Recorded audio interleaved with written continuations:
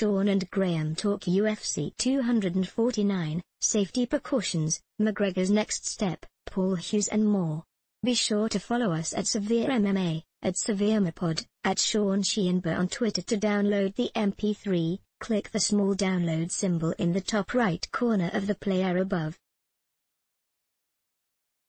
Underscore the Severe MMA podcast has started on Patreon with new premium, original content and the opportunity for you to choose the topics and more. To support us and get access to all our new premium content head over to our Patreon or click the button below, become a patron.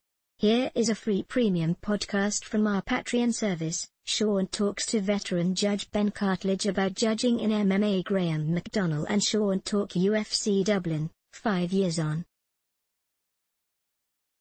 Sean breaks down the specific MMA judging criteria artwork by a John's Portraits related podcaster, lead MMA writer and analyst for Severe MMA.